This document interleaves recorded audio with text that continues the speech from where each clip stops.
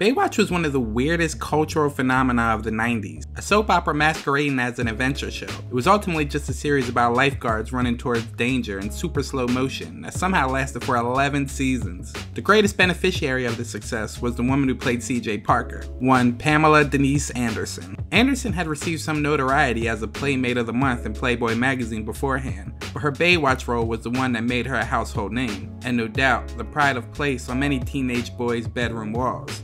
Moreover, she was savvy enough to propagate her image as a sex symbol while ensuring her name remained on the presses of tabloids everywhere through her tumultuous marriage to known scumbag Tommy Lee. Looking to ride the wave of Anderson's cult popularity, she was cast in the R-rated Barb Wire, based on a Dark Horse comic of the same name. Anderson plays the titular role, a nightclub owner and mercenary who also strips on the side. And no, no part of that sentence was made up just now. Hey, handsome. Want some company? You a cop? See a badge?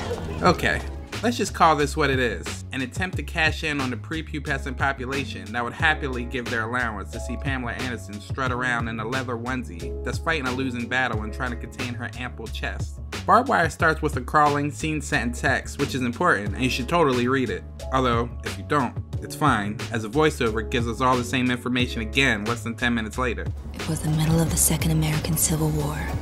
The world had gone to hell. The year was 2017, the worst year of my life. There was only one free city, and that's where I lived for three years Port Steele Harbor.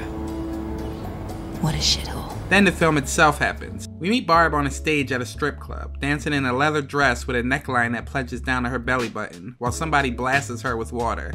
One enthusiastic patron starts screaming at her to take it all off. Unfortunately, he also calls her Babe, which, like calling Marty McFly chicken, is an unforgivable slight in Barb's eyes. She whips off a high heel shoe and throws it at him like a fastball, where it sticks into his forehead like a throwing knife.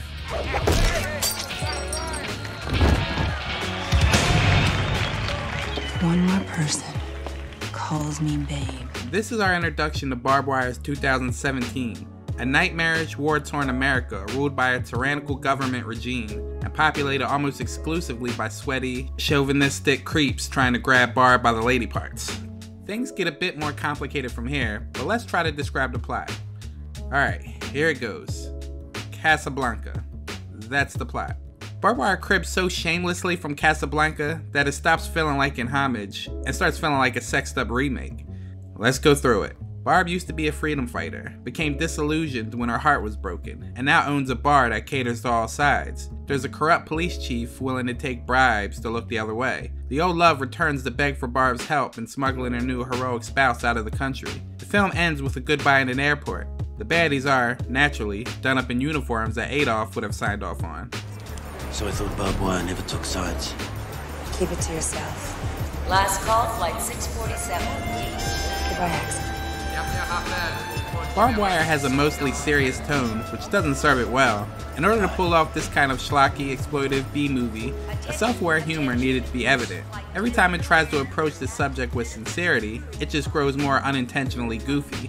In many ways, Barb Wire resembles Tank Girl, but without the colorfulness and quirkiness, which helped that picture not only look like a comic book entity, but also gain an identity beyond a famous face and body.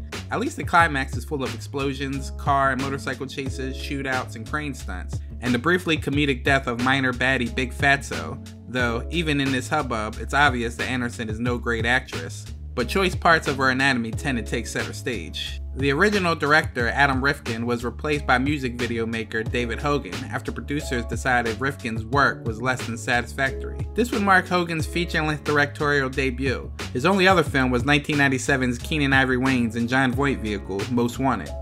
Hogan gives Barb Wire a look that would only fit in in the mid 90s. It's an aesthetic that lies between the gothic overtones of The Crow and the cyberpunk look of Johnny Mnemonic, without any cohesive identity to carve out of its own. Alternating between exaggerated angles and lenses, it's a style that rarely works outside of Terry Gilliam films, yet was employed in so many films of the 90s, like the Super Mario Brothers and the aforementioned Tank Girl. There's nothing to make this film stand out from the pack aside from its ill-planned remake of Casablanca angle. So this is where comic book movies were in 1996, kids. You don't know how good you have it.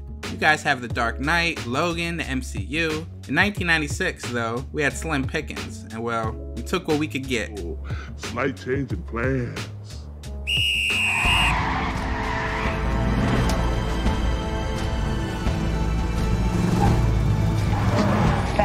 Son of a bitch. With that said, Barb Wire does have at least an ounce of so bad it's okay quality to it. You know when you get a craving for Taco Bell at midnight after you've had a couple of drinks with friends and you're all in that everything is hilarious phase? So you pile into a car, make your way through the drive through and you order 10 too many tacos, a slew of burritos, and 12 bags of cinnamon sticks. Then you go home, eat the entire lot, and wake up the next morning with your face stuck to the kitchen table, surrounded by wrappers and cans and snoring pals, the taste of hot sauce still in your mouth while your eyes feel like they're on fire. That's Barb Wire. It's not healthy, it's not all that good for you, and you may regret parts of it in the morning. But while you're in the midst of it, you're still laughing and having a good time. It's not hard to see why a movie studio thought this might have worked, at least on a financial level. However, it was never going to be a critical success, with an actress lacking in talent as much as Anderson, and given that it didn't even draw the crowds, despite Anderson's obvious assets, it was an all around failure. All in all, it was always going to be a risk. Barb Wire's audience is comparatively minimal when you're comparing her to the more popular characters from the likes of DC and Marvel, and that ended up backfiring terribly. After spending 9 million on making the film, and who knows how much they spent to market it, only 3.8 million was brought back at the box office. Also, it was nominated for a slew of Razzies, including Worst Film and Worst Actress. Anderson sadly lost to Demi Moore for her sparkling work in Striptease.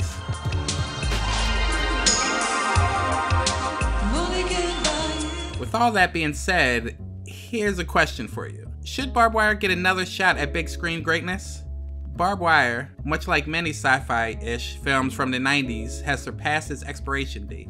With the narrative set within 2017, a year that's now been and gone, Barb Wire no longer holds up particularly well as a film set in the future, a sadly regrettable consequence of any film aiming to be futuristic. However, the fetishized and grandiose nature of Barb Wire is still as intriguing now as it once was, and it seems as if it's just sitting there waiting to be remade. It could do with a contemporary spin, as Barb Wire's main setting, a nightclub in what's considered to be the last free city in the USA, deals with the fragile nature of a civil war, a country folding in on itself due to socio political divisions, and ultra violent weaponry in the hands of the wrong people. As for who could play the titular blonde bombshell, Margot Robbie could easily stand in. Or is that a bit too obvious? I believe in taking care of myself. In a balanced diet, in a rigorous exercise routine. In the morning, if my face is a little puffy, I'll hold two cold spoons dipped in lapsang souchong over my eyes. Given that Barb Wire was explicitly created for propelling Anderson's star higher, its disastrous reception meant that her film career flopped alongside it. Her detachment from the creative process ultimately informed her decision to co produce the cult series VIP, which smartly chose to embrace the camp and revel in it. In an increasingly homogenized cinematic landscape, more films could stand to do the same. I do believe I'm falling in love. Get in line.